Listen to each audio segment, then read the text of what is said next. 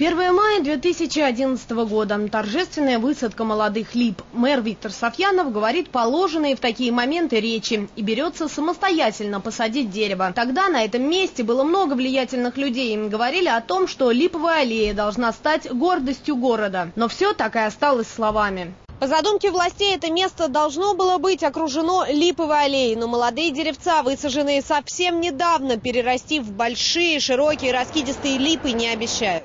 В такую жару деревья просто-напросто гибнут. Молодые липки не выдерживают пекла. Вот на этом дереве, посаженном в память о младшем сержанте Николае Козлове, не распустилось ни одного листочка. Все почки на молодой липе засохли. Пожелтели и хвойные, высаженные вдоль аллеи. Спасти деревья от жары можно было бы, если бы кто-нибудь хотел. Поливать липы и ели здесь обязали совхоз коммунальник. Их ночью поливают.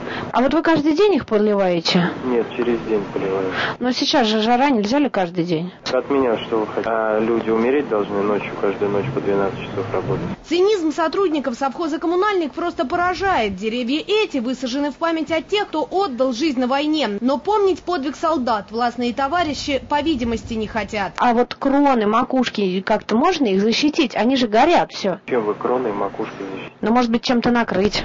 И кто вам это разрешит? Но это вам должны разрешать, а не... не разрешают это. А кто вам не разрешает? Руководство А почему? мэрии, потому что выглядит ненадлежащим образом. Конечно, красота это важно, но при таком солнцепеке молодые деревца проживут разве что месяц-другой. А что потом? Скорее всего, с громкими речами и лозунгами начнут высаживать новые. А пока власти решают, как красивее, родители погибших солдат поливают эти липки самостоятельно. Подвиг их сыновей, по видимости, нужен только им. Татьяна Суворова, Игорь Олейников для программы «Оперативный эфир».